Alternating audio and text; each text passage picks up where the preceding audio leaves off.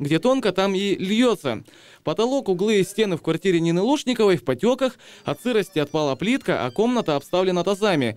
Коммунальная проблема пятиэтажки повторяется весной и осенью, уже несколько десятилетий. Ну, началось это давно, ежегодно.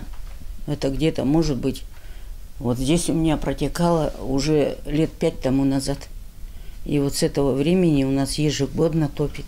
Ежегодно. По всем комнатам.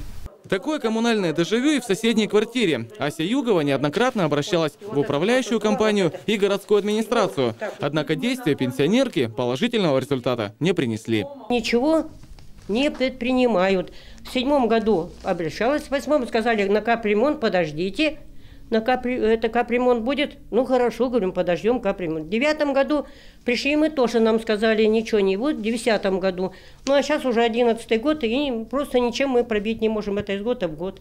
Коммунальщики не отказываются от своих обязанностей. По их словам, на ремонт кровли попросту нет средств. Будет проведен только текущий э, ремонт. То есть это локальная ликвидация протечек путем замены одного, двух, трех листов шифера – я прекрасно понимаю, что проблемы э, это решает лишь отчасти. Кровли нужен капитальный ремонт. Для проведения капремонта требуется около миллиона рублей. Сейчас на лицевом счете дома меньше четверти необходимой суммы. Константин Пчаков, Людмила Дворянская, Александр Менщиков, Сергей Абалмасов, телекомпания «Регион 45».